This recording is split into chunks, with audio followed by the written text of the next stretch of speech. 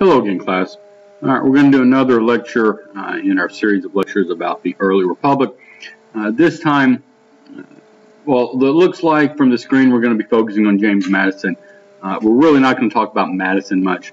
Instead, we're going to focus on uh, what was the, by far the dominant occurring event during his presidency, which was the War of 1812. Before we get to that, let's let's do uh, spend a minute or so on James Madison. So who was he? Uh, he was a Democratic Republican uh, from Virginia. Okay, so he was basically Thomas Jefferson was, was sort of like his mentor to him. So he, he held a lot of the same views uh, during this early Republic period as Jefferson. Uh, now remember, if you go back to the Constitution era when the Constitution was being written, uh, he and Hamilton teamed up to write the Federalist Papers to get the Constitution uh, ratified. But once the uh, Constitution was ratified, he, he really joined forces uh, with Jefferson, uh, worked in the Democratic Republican Party, uh, and opposed most of Hamilton's ideas. and like all these presidents from Virginia, he was a slaveholder. Um, known as father of the Constitution. Um, we talked about that quite a bit before uh, and finally, he was Jefferson's Secretary of State. All right, so if you remember, uh, Thomas Jefferson was George Washington's Secretary of State. Uh, James Madison is going to be Jefferson's Secretary of State. Then he becomes president. Uh, we're going to see this pattern uh, continue.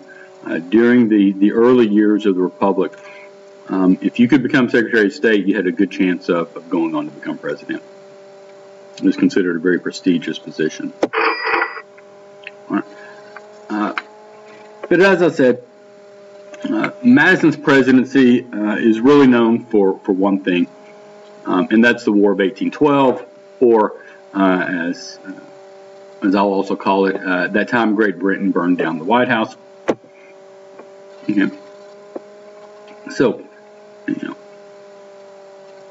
Madison becomes president in 1809 but his presidency is known for the tensions with, with Great Britain uh, and ultimately that ultimately led to war in 1812. All right, so why did Britain and America go to war again in 1812? One, uh, and this is the the overwhelming reason. I mean, if you just polled the random person and give you one reason the War of 1812 began, uh, they're probably going to tell you impressment. Uh, remember, impressment is, is the kidnapping of one country's sailors uh, and making them serve in, in the kidnapping countries' navies. All right, so Britain uh, would kidnap American sailors and make them work in, in Britain's navy. All right, so that's the overwhelming, the number one reason most people give you for the War of 1812. Um, I don't know that it was necessarily more important than these other issues, but it's certainly a big one and one you need to remember. Uh, the second is Britain's interference with American trade. Uh, and third, uh, Britain uh, was helping uh, Native American revolts uh, in the Northwest Territories. All right, so we'll talk about all three of these reasons uh, in a little bit more detail as we go. All right, so first, uh, impressment. Alright so we've talked about this before when we were talking about some background of the XYZ affair. Impressment means uh, one country like Britain kidnapping another country's, like America's, sailors and forcing them into the first country's navy. All right, so take a look at that picture I have. That's sort of what impressment would look like. Now, what's the background of this? One is is because Britain needed sailors to fight France. Um, I know this may come as a shock, uh, but Britain and France were once again uh, fighting a war in 1812, or the years leading up to 1812. Okay. So that's that's one reason they were impressing um, American sailors is that they needed they needed manpower to fight France. Another reason is Britain sort of held this view that anyone born in Great Britain was always British. Um, and so they felt that, that people who had moved to America uh, and were now claiming to be American uh, were still in fact British and therefore should have been subject to you know the military draft laws and things like that uh, to be forced into the Navy. Now there, there definitely were some examples of of people in the British Navy uh, basically abandoning uh, the British Navy, uh, deserting the British Navy, and then you know catching on and, and working in America. That that did happen, uh, but Britain also wasn't real scrupulous or specific uh, when they started rounding up people uh, to impress. So maybe they captured people who deserted from the British Navy, and maybe they didn't. All right, so this was impressive. This is the first reason. Uh, Britain was impressing America's sailors, and uh, eventually America just said enough's enough. And, and we did see this earlier. Uh, remember, France was kind of doing the same things in advance of the XYZ affair, and that's why the, that quasi war with France broke out. And, and, John Adams was almost forced to go go to war with France over the same issue. Uh, eventually, uh, when Britain is doing it to American sailors, it, it does in fact lead to war. Uh, the second reason, uh, Britain didn't want America trading with France. Remember, Britain and France are at war, and so with America bringing goods to France, Britain sees that as America sort of helping France in the war.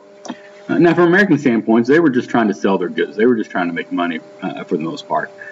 Uh, but Britain saw it as, as helping France's war effort, so they wanted to put a stop to it uh, so British ships would capture American cargo and merchant ships that were heading to Europe. Um, now, so honest, so obviously, uh, you know, this is going to make the Americans mad for a couple reasons. One, it's just um, it, it's a threat to Americans' independence and sovereignty if Britain thinks it can control where American ships do, do not go. Uh, and the second reason, it's costing Americans money. You know, if you have all these goods that that you're supposed to be selling in France, well, if the ship doesn't get to France, then, then you don't make your money. So Americans were not happy with this interference with their trade. Uh, the third reason we'll talk about are, are Native American revolts. so Britain helped and encouraged Native Americans in the Ohio River Valley to resist uh, America's westward expansion. All right, so remember, go back to the Treaty of Paris of 1783. One of the terms of that treaty was that uh, Britain gave all the land, basically, at least all the land south of Canada, uh, that was west of the Appalachian Mountains all the way to the Mississippi River. Um, and, and, at least the northern half of that section of land we call the Ohio River Valley. Right, and eventually, America is going to create five states: you know, Ohio, Indiana, Illinois, Michigan, Wisconsin, uh, out of that land. So, um, you know, that's American land. And so, again, you don't have to write all the, the details of these Native Americans revolts. Just understand that Britain was was helping uh, Native Americans, or at least encouraging them to, to fight back against uh, American expansion into the West. So, as Americans moved west into the Ohio River Valley, uh, which is also called the Northwest Territory, remember the the Northwest Ordinance talked about how you settled that territory. You know, conflicts with Native Americans were um, inevitably uh, that means it can't be prevented, they were inevitably going to arise right? because obviously the Native Americans had been living there for hundreds of years, perhaps, in, in some instances, and all of a sudden these Americans moved in and started taking the land. Um, now, so one Native American chief, a guy named Tecumseh of the Shawnee tribe, he tried to organize different tribes uh, into a resistance, but uh, William Henry Harrison uh, convinced uh, separate tribes, the Miami, Delaware, uh, Potawatomi tribes, to, to sign a treaty of Fort Wayne and transfer 3 million acres of land to the Americans. All right, so Tecumseh, and this was one way that the Americans were, were often able to, to defeat Native Americans, even though there, there were many more Native Americans in certain parts of the area. Uh, the Americans would, would bargain or, or team up with one group of Native Americans against another, and so they would uh, divide and conquer is, the is the term to use there. And so that's what William Henry Harrison, he was an American general, did. And then while Tecumseh's way, Harrison defeated Tecumseh's tribe, the Shawnee tribe, uh, at the Battle of Tippecanoe. Right, and this is going to make Harrison very, very famous, this, this victory. Um, so famous that William Henry Harrison is eventually going to become president. Um, and what's What's ironic about that is Harrison becomes you know, wins all these battles. We're going to talk about him. He's going to win some key battles in the War of 1812. As a general, he survives all these battles, fighting against the Native Americans, fighting against the British. Um, but then when he becomes president, he's going to give a speech on his inauguration day. It was really bad weather. Uh, he gets sick and dies within a month. So uh, William Henry Harrison uh, survived uh, lots of battles uh, in his life, but he couldn't survive giving a, a really long speech as, as president. Right. So in 1811, after Harrison uh, wins the Battle of Tippecanoe, Tecumseh goes into Canada and becomes allies with the British. Okay? And, and, hence, this is where some of this animosity uh, against the Americans, against the British, like, hey, we're at war with this guy, and you're making allies uh, with him and his tribe, and you're you're trying to get them to to fight back in the Ohio River Valley or the Northwest Territory. All right, so those were the the three reasons uh, that led up to war. Now, and this is true for many wars.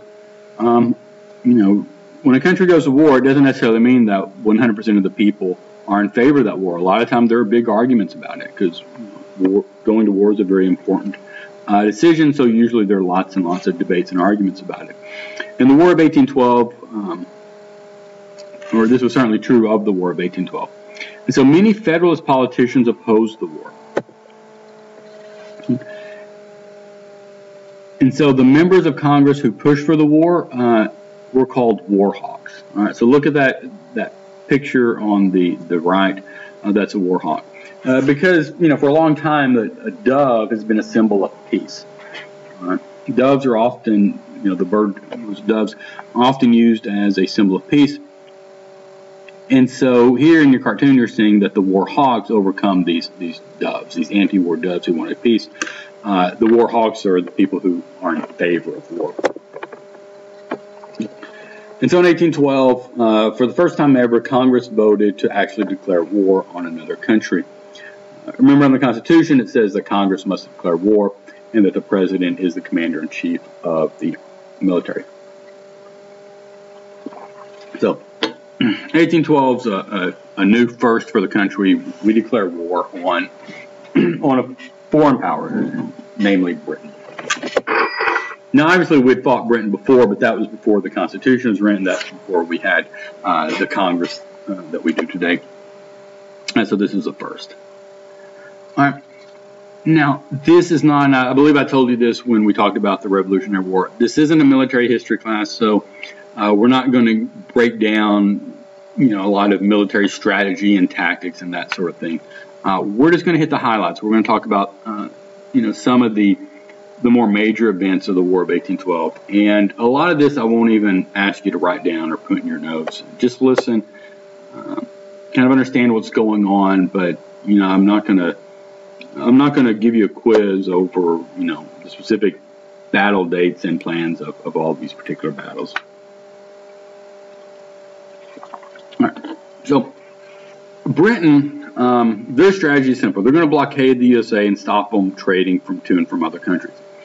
Uh, they could do this, and remember, a blockade's when when one navy uses all of its ships to to to keep the other uh, country ships from from leaving land or getting to their land. uh, remember the the French blockade at Yorktown during the Revolutionary War. All right, so Britain's going to do it to America this time, and they're going to stop American trade with to and from other countries. Now, this is the background, but I want you to remember this. This is going to have a big impact on, on the American economy. So, uh, the USA, people in America start thinking, hey, well, you know, these British, they're based in Canada because Canada was still a, a British colony. Uh, a lot of their armies there. This is a good uh, chance for us to make Canada part of the United States. Uh, there, there was a thinking in America that they were going to use this War of 1812 as an excuse basically to conquer Canada. Uh, and Canada could, I guess, become, you know, one of the states. Uh, didn't quite, quite work out that way. Uh, but America does attack Canada. Uh, they set fire to a, a, city at the time called York. Now it's called Toronto. But Britain fights back. Britain eventually captures Detroit. Um, but then they lose it again when General Harrison. All right, so again, we're talking about William Henry Harrison. Uh, General Harrison is going to win this battle. It's going to be called the Battle of uh, Thames. Uh, and Tecumseh actually dies at this battle. All right, so so one of the key figures in the events leading up to the war uh, is going to die at this battle. And so basically, what happened is America attacked Canada, Canada and the British attack America, and at the end of it, everybody kind of ended up with the same land that they started with. Uh, and that's that's going to be a theme in this war, by the way. Everybody's going to end up. I'll give you a spoiler here. Everybody's going to kind of end up exactly where they started.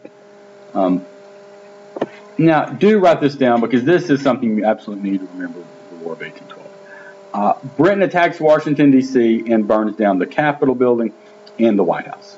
Right. Particularly the White House had suffered a lot of damage.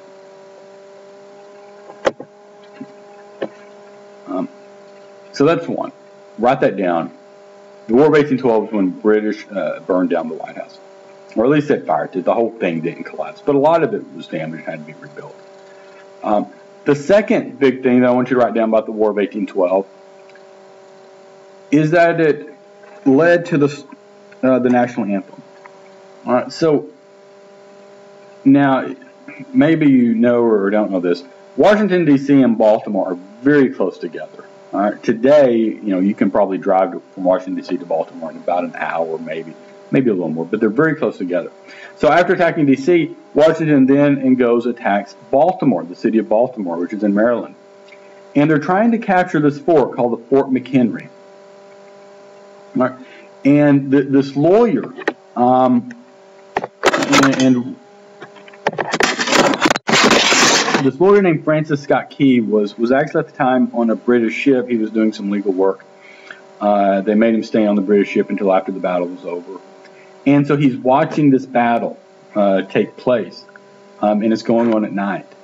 And you know, and every time there's a a bombshell goes off and the sky lights up from the, the fires and the bombs, uh, he sees that the American flag is still still flying over Fort McHenry, uh, and that's what leads him to write the Star Spangled Banner, uh, which eventually is going to become our national anthem. And so that's why if you think about the words of the Star Spangled Banner, uh, you know, he's talking about the dawn's early light, and you can still see the flag and you know the bombs bursting in air. He's describing this battle, and he's describing how uh, how hopeful he was and how happy he was that every time uh, there was enough light to see the the fort, he could see that the American flag was still flying, which meant that the British hadn't captured it.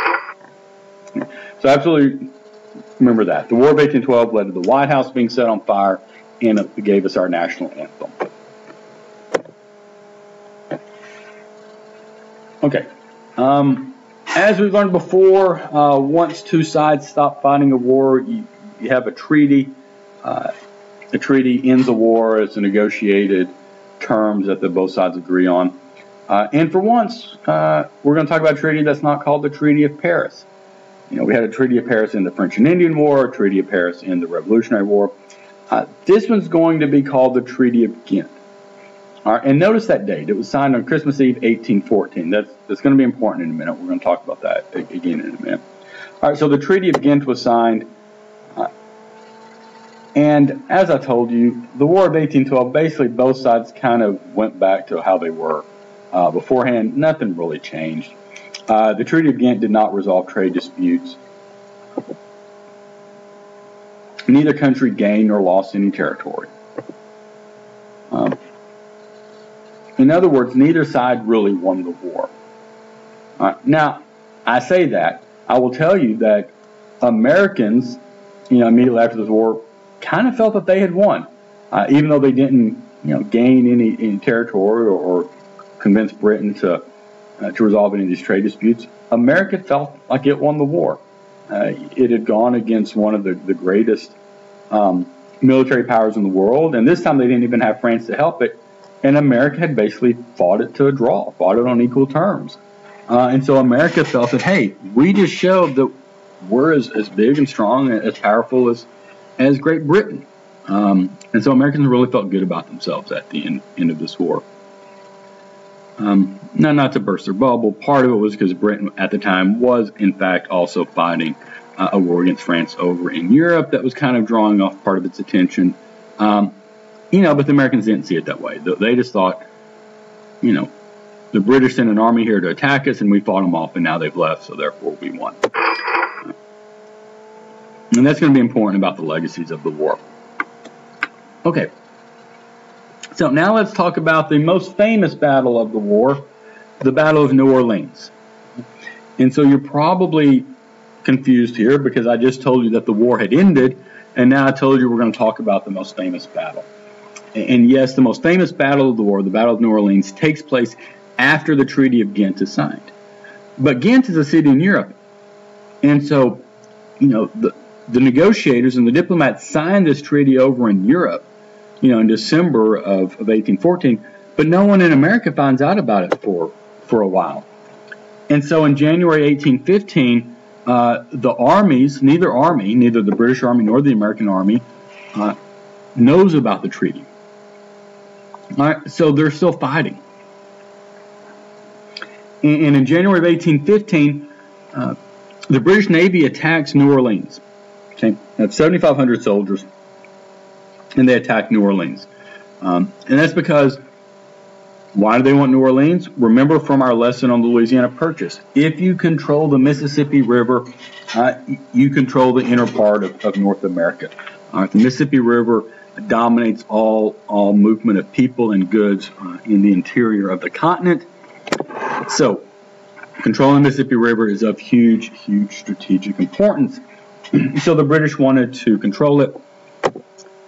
But uh, this general named Andrew Jackson uh, really routed the British. All right, I mean it wasn't even close. All right, so America, you know, had 71 casualties, about you know, killed or wounded. Britain had around 2,000. All right, I mean this was uh, just an absolutely one-sided battle. all right, uh, that General Jackson won, uh, which is going to propel him uh, um, to great fame in the country. He's going to become one of the more famous and popular Americans after this. Uh, so what's going to happen? One thing we see in the War of 1812, uh, America is going to get two presidents out of it. It's going to get Andrew Jackson, uh, who's going to become president, you know, um, about 15, 20 years later, and it's going to get William Henry Harrison um, after it. So, so two of the generals, two of the leading American generals, are both going to become presidents um, after the war. Okay, so I know we've gone through this war pretty quickly um, because it's you know it's a war most Americans today kind of forget about. They don't think about it much. Um, I mean, you mentioned the War of 1812. It's like, oh yeah, I forgot about that. That's tend to how people think of the War of 1812. But it actually had some very important um, important consequences. Not not just giving us two presidents who got famous during the war, uh, but it really kind of changed the country. All right, so what is this legacy? What, what is so important about the War of 1812? Well, you have both from a political and economic standpoint. Now, let's talk about the political. Uh, Americans became more patriotic and they gained a sense of nationalism. This is an identification with one's own country. All right. Uh, as I was mentioning earlier, Americans absolutely felt that they won this war. All right, they felt that hey, we just fought one of the greatest militaries on earth, and we won. Now, you can debate whether it was really a win or a tie, but at the time, Americans thought it was a win. And so they were proud of themselves. You know, they, they really started to view themselves as being equal to these European countries. Like, hey, we're just as great as Europe or France or Spain or whoever you want to talk about. All right, Americans really started gaining a sense of patriotism and nationalism after this war. Uh, the Federalist Party was basically destroyed because it opposed the war. All right. So now we've seen the only Federalist president we had was John Adams, right? and so you'd already had Democratic Republicans win. Uh, Thomas Jefferson won two elections as a Democratic Republic. James Madison had won two elections as a Democratic Republican. and, and, so you know the Federalist popularity was already going down. You know, they had the John Adams, you had the XYZ affair, you had the uh, Alien Sedition Acts, and so this really harmed the popularity of the Federalists to begin with. And then in 1812 rolls around and they're opposing the war. Um, well, that was an, a very, very unpopular position. And so the Federalist Party was basically destroyed uh, as a result of this war. Um, and then after this, uh, Native American resistance uh, or the ability of Native Americans to, to fight back against the Americans in the Northwest Territory. Uh, again, that's also known as the Ohio River Valley. Uh, it's weakened, almost being to the point of non-existence. All right, America is going to to be able to move in that Northwest Territory in future years without too much resistance from from Native Americans.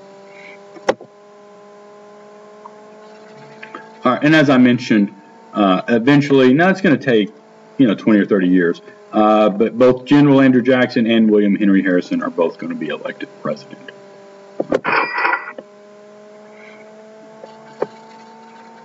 And, and, you see a, a, pattern in America.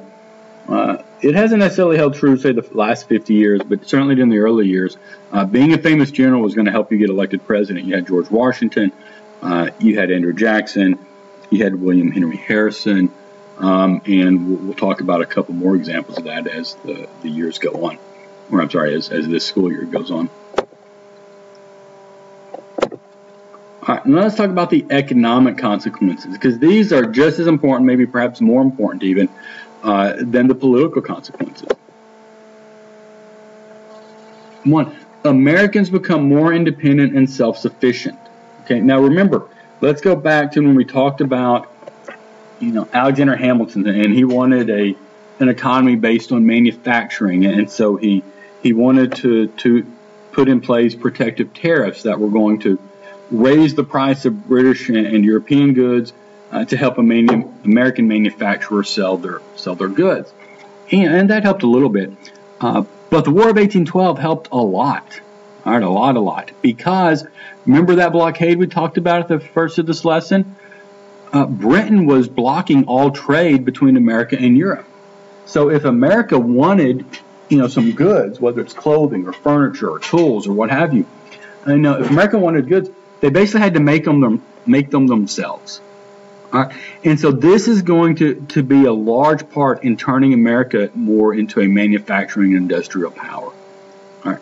So now this is ironic because remember the Democratic Republicans wanted an economy based on um, based on farming, not on manufacturing.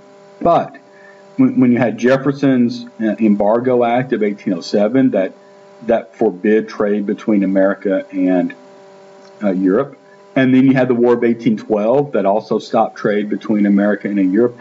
These two things, uh, these two things put in place by Democratic Republicans, are actually going to lead to much, much more manufacturing in America. It's going to lead to America uh, moving towards um, more of a manufacturing economy and away from uh, an agricultural economy.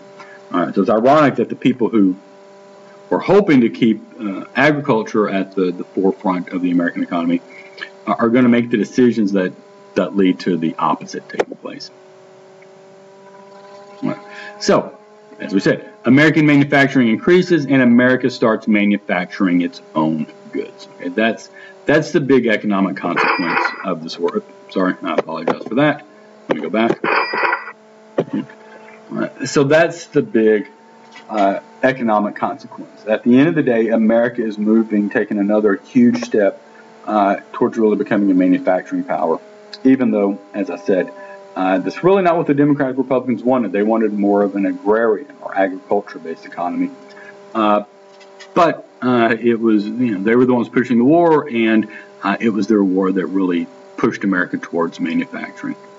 All right, so as you saw when I accidentally hit, hit the forward button, uh, this is going to end the discussion of Madison. Next time we'll talk about James Monroe uh, and uh, what we call the era of good feelings and the Monroe Doctrine.